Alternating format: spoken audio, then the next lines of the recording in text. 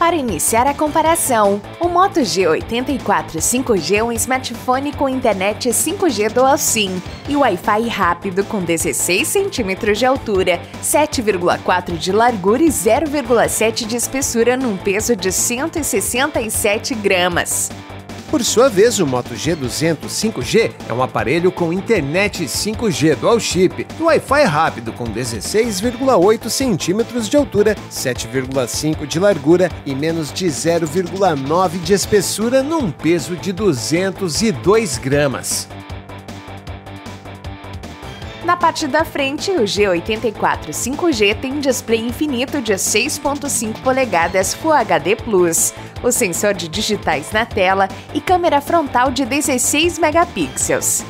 Já na parte da frente do G200 5G, temos display Max Vision de 6.8 polegadas Full HD Plus e câmera frontal de 16 megapixels.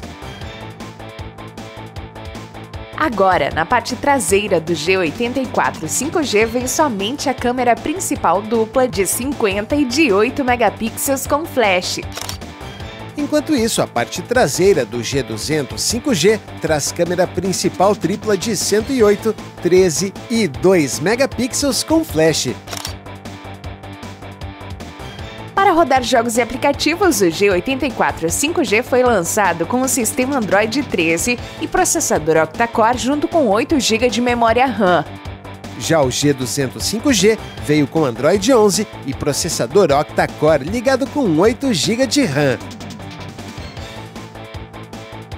Além da bateria 5000, o G84 5G tem armazenamento de 256 GB para salvar seus apps, fotos e vídeos, expansível até mais 1 TB. Do outro lado, o G200 5G conta também com bateria 5000 e com armazenamento de 256 GB. Não se esqueça que aqui na descrição do vídeo você pode acessar o link para comprar os celulares e acessórios. Antes dos preços, os destaques finais do G84 5G são desbloqueio por reconhecimento facial, os alto-falantes estéreo e as câmeras com estabilização ótica e modo noturno. E os destaques finais do G200 5G são desbloqueio por reconhecimento facial, o sensor de digitais na lateral do aparelho e o botão Google Assistente. Atualmente, o G84 5G pode valer a pena na seguinte faixa de preço. E é claro que ele traz a tecnologia NFC para pagamentos e demais funções. Já o G200 5G pode ser uma boa nos seguintes preços. E ele também vem com tecnologia NFC.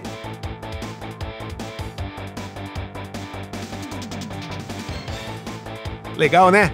Veja as nossas dicas para os dois celulares, os links na descrição do vídeo e se inscreva também no canal.